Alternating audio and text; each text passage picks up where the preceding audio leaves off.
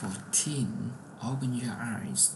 My grandpa always says the world is a beautiful place if you just open your eyes. Now I know what he means. One time, my friend's family invited me to go with them for a balloon ride.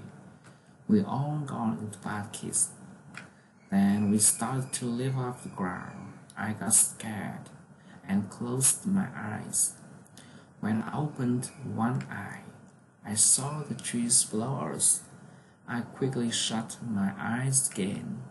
Suddenly, my friend yelled, Look, a huge flock of geese was flying right by us.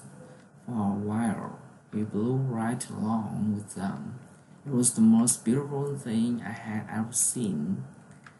It was an amazing sight just amazing. All I had to do was open my eyes.